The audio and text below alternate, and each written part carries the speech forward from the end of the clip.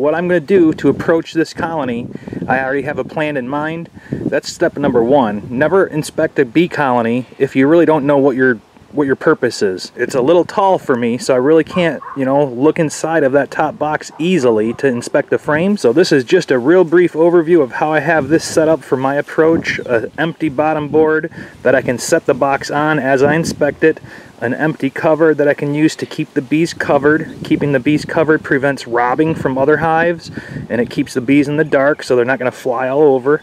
And then over here I have a spot to put excess frames and it's sealed on the bottom and sealed on the top so that'll prevent the other bees from starting to rob it uh, as I inspect. Okay, so very easily, um, without really showing you what I did, I explained. I have extra medium frames here. Uh, this is my 14 inch steel non-serrated blade just in case there's cross combing. So now I can more easily go ahead and take this cover off and we'll start looking at each frame I have a feeling that this is all surplus honey. So if that's the case, the full honey frames are going to go in that box right there. I have a solid inner cover on this one. Uh, I see a handful of small hive beetles.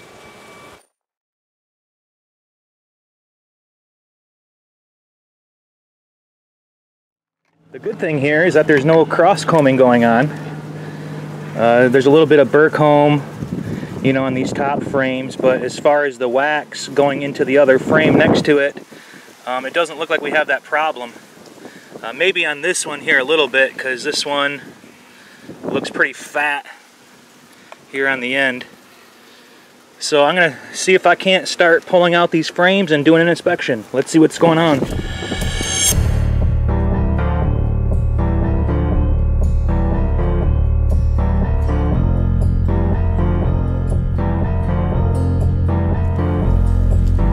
Nice full frame of honey. Capped on both sides.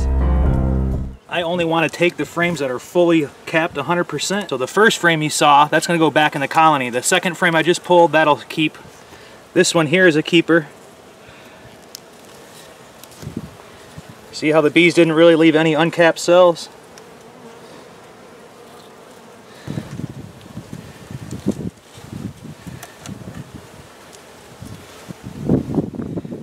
Just like the last frame. See how it's 100% capped? There's no empty space. Okay, so this frame isn't fully drawn. This side has a ways to go. This frame is very full. They didn't cap over on this end here.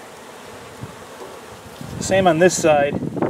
See how the ends, they didn't really cap 100%. Yeah, this one kind of started to cross comb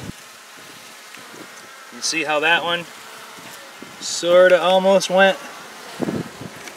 So these two frames, when they were pushed together, the wax on this side started just to slightly bow over. So that's what I want to pull. So I'll probably pull this one and this one out. I'm going to continue because again, it looks like we have some more wonky comb going on. I mean, basically you see how they did that. They only went up to a certain part when the wax started bowing out. So I think I'm going to need to pull this frame out or else they're never going to fix that. And it's mostly capped, so I could give it to another colony that needs it. Oh, they had this cross comb to the frame next to it. Not what I was hoping to see. That's what the bees do. So for those of you debating, maybe for honey supers, Plasticell might be the way to go, or else you could deal with stuff like that.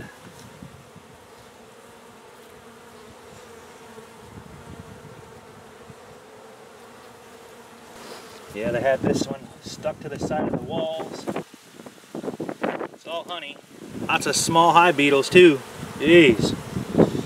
I'll turn the camera off and come back later on and I'll give these girls a new top box. Okay, and you'll see here I got the bees working. I couldn't keep it in the hive. I didn't want to give it to another hive because again it's just too wide. So what I do is I just leave it out. I open feed it. The bees are just, you know, going to town on so it. over here you'll see now I got this set up, I can go ahead and start looking through these boxes. Essentially, I want to condense or reduce the frames. So frame management, I want the brood to be on the bottom. I can have food frames on the outside, but I just want to take a look through this top box first. I can put a frame in this box if I wish. or if the frame that I pull out is fully capped on each side with honey, if it's surplus. Over here to the side I have a empty nuc box with a lid so I can put five frames of surplus in there. I have some empty frames here ready to go. So that's how I'm gonna work is just come through here, try to put the brood in this box. If it's surplus honey, I'll put it in this frame here. Okay, so essentially this is how I'll do it. I'll just pull frames out of this box and start inspecting them and putting them down by here. And then again, I'm gonna get to the bottom box hopefully and do the same thing.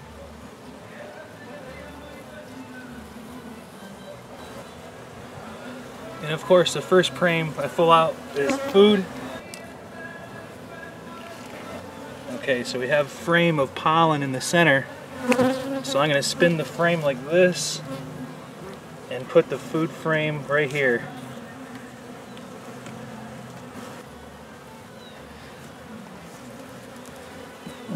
I'm just going to check first to make sure the queen's not on it, and then I'll shake the bees off. These are small hive beetle blaster traps that I've filled with diatomaceous earth.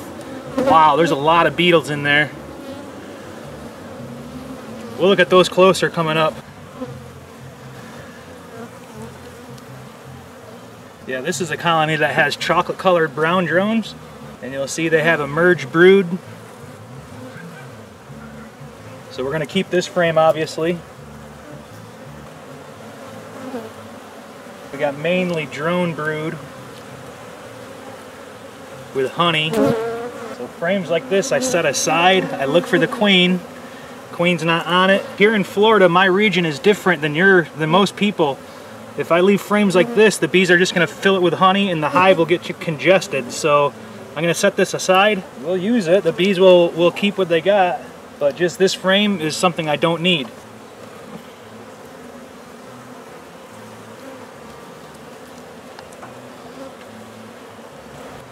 Nicely merging brood. Good pattern. Well, I think I'm going to have to use my serrated knife, folks, because these frames are bowed. So I'm going to have to cut the wax cappings off. We got more drone honey.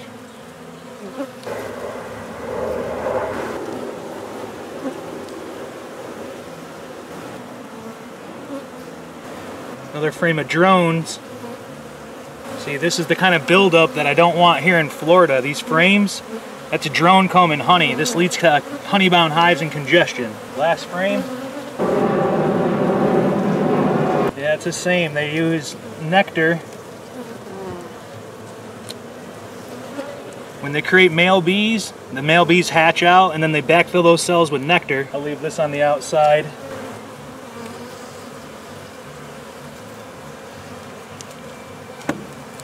Okay, so this box is empty. I can take it off now.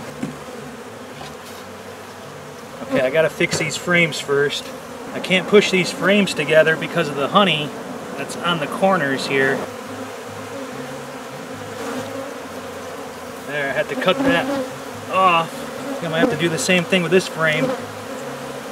See how the honey is bowed out here? Where my finger is, I hope you can see that. I gotta cut that off.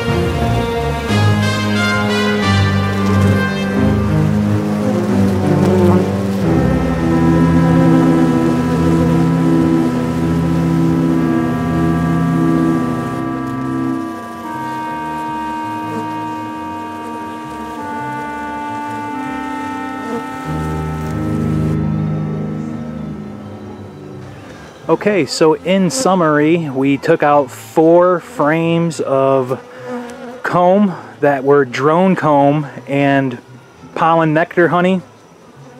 They're drone food frames, basically. So when I come back to inspect this colony again, I'm gonna show you how I do a reversal. Basically, I'm gonna take this bottom box and move it up one position, and this middle box here will be moved down.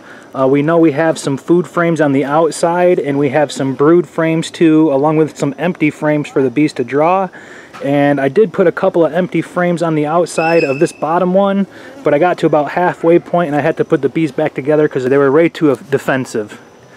Uh, and just come back for more folks. Thanks again for tuning in. Hope you all have a good day and have fun with your bees.